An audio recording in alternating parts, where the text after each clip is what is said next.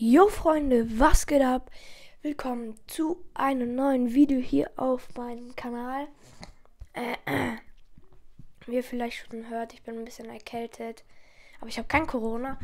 Ähm, ja, gestern haben mich viele im Stream gefragt, wie du ne, überhaupt einen Stream machst und wie du dein Handy mit dem Computer verbindest. Das zeige ich euch alles heute in diesem Video. Als erstes, ich zeige euch erstmal, wie man streamt und dann wie man ähm, wie man Abos an äh, wie man das Handy mit dem Computer verbindet. Also erstmal Schritt für Schritt. Also wenn du streamen willst, dann gehst du hier auf Firefox, das steht vielleicht bei dir dort. Auf Handy brauchst du 1000 Abonnenten oder 10.000, ich weiß es nicht mehr, äh, um zu streamen. Aber ich kenne mich da jetzt auch nicht so aus. Dann gehst du einfach auf YouTube, auf die Startseite von YouTube. Ähm, und dann gibt es hier vier. Hier YouTube-Apps, Benachrichtigungen und mein Kanal. Da gehen wir mal auf Erstellen. Dann Video hochladen oder Livestream starten. Dann gehen wir auf Livestream starten. Ähm, und dann kommt man hier hin. Und dann schließen. Das war der Livestream von gestern. Dann gibt ihr irgendwas ein, zum Beispiel Test. Ich mache es jetzt auf privat. Ähm, aber ihr macht es, wenn ihr streamen wollt, wahrscheinlich auf öffentlich. Dann Gaming, Autos, Fahrzeuge, Musik, Sport, Komödie, Menschenblogs, Gaming, äh, Unterhaltung.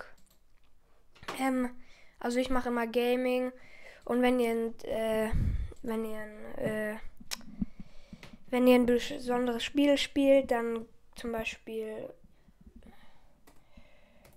Brawl Stars, Brawl, Brawl Stars 2017, dann wird euer Stream meistens auch gefunden, wenn jemand nach Brawl Stars und Live sucht. Ähm, genau, da könnt ihr noch einspielen. Ja, ist speziell für Kinder oder so äh, nur ab 18 oder so, benutzerdefiniertes Thumbnail und so weiter halt. Dann gehen wir auf Stream erstellen und dann kommen wir dorthin.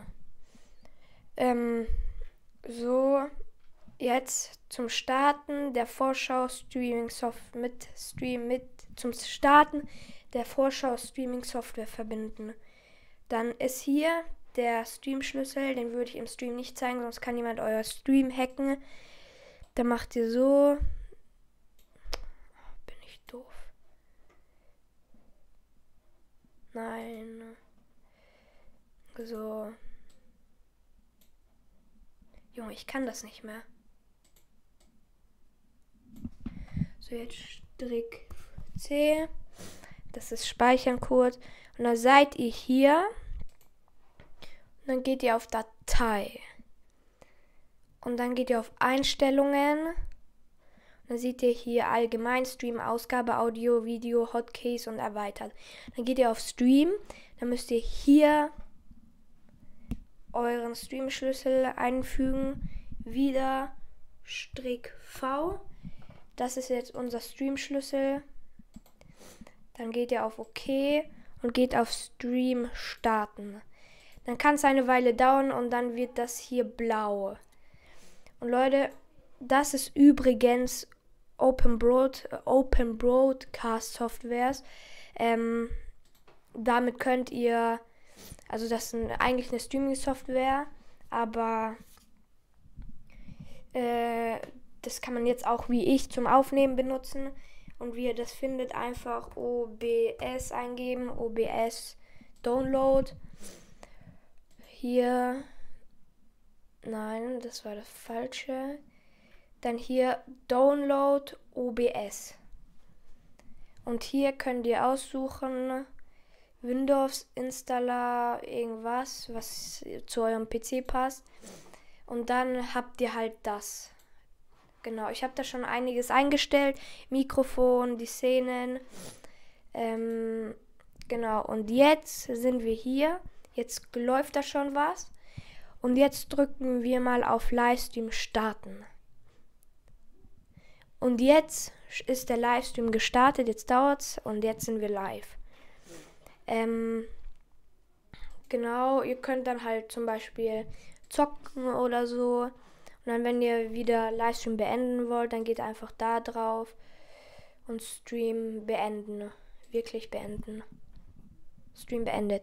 Dann seht ihr hier Wiedergabe, maximal gleichzeitige Zuschauer, neue Abonnenten, dauert 10 Sekunden, ja, ja, bla bla bla. Ähm, genau, dann geht dann, schließe das wahrscheinlich oder guckt noch was. Ähm, das dauert ein bisschen, bis der Stream, äh, bis der Stream oben ist. Und dann drückt ihr wahrscheinlich auf Stream stoppen und tut schließen dann ist das eigentlich schon fertig, aber ich schließe jetzt nicht mal, weil ich ja gerade aufnehme für euch. Ähm, genau.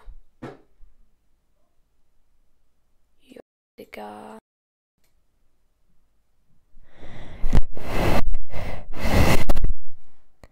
Junge, Digga. Bist du eigentlich komplett behindert?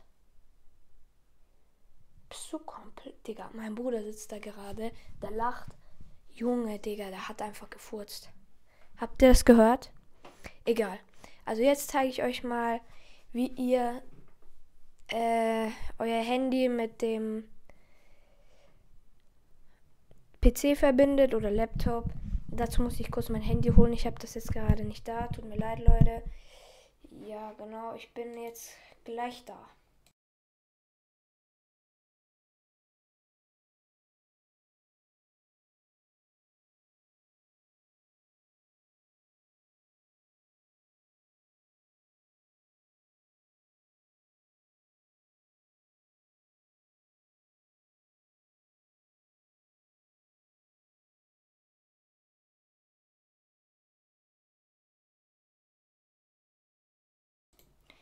So, Freunde, jetzt bin ich wieder da.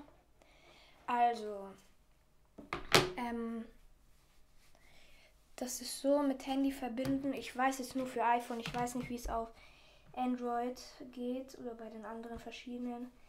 Bei iPhone, wenn ihr hoch switcht, also von unten nach oben, dann kommt da so Bildschirm Synchronisierung. Dann tippt ihr da drauf, jetzt wird es gesucht. Das könnt ihr noch kurz weglassen. Ich habe mir hier Lonely Screen heruntergeladen. Das einfach doppelklickt. Und dann ist einfach das da so. Oh, sorry. Ähm, und dann geht ihr beim iPhone auf Bildschirmsynchronisierung und da steht dann schon Lowly Screen. Dann verbindet ihr euch das, wenn ihr es zu, zu Schreeb oder keine Ahnung genau geht, dann könnt ihr da äh, einfach runter, also irgendwas Zuschreibers oder so. Aber ich gehe immer auf Later, weil dann bleibt es so. Hier könnt ihr auch noch den Namen ändern, keine Ahnung. Und dann geht ihr einfach. Wartet. So, ich muss mal kurz Handy entsperren. So, dann geht ihr einfach auf Bildschirm synchronisieren, dann Lowly Screen tippt ihr einfach drauf und jetzt sind wir so. Ähm, und dann könnt ihr halt zocken. Genau. Junge, es kommen gleich tausend Nachrichten.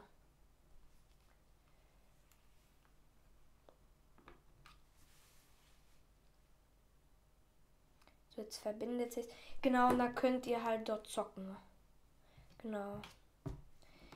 Und ja, Leute, das war's eigentlich. Und wenn ihr dann wieder ähm, wenn ihr dann wieder äh, die Verbindung trennen wollt, äh, wollt, dann geht ihr einfach hier auf Lowly Screen wieder und Synchronisierung stoppen. Und dann kommt wieder das, dann könnt ihr schließen nach dem Stream. Das läuft alles, das läuft alles so. Ich kann euch gerne nochmal das zeigen. Ähm, dafür müsst ihr einfach Lonely Lonely Screen, äh, Airplay Receiver, glaube ich. Genau. Also das ist Airplay Receiver und dann Download und dann für Windows könnt ihr einfach runterladen oder genau das Programm installieren Und ja, das war's eigentlich schon. Da, da müsst ihr nichts groß einrichten oder so. Ich hoffe, euch hat dieses Video gefallen. Lasst gerne mal einen Daumen nach oben da und ein Abo natürlich. Ähm, und ja, das war's mit diesem Video. Ciao, ciao und ciao.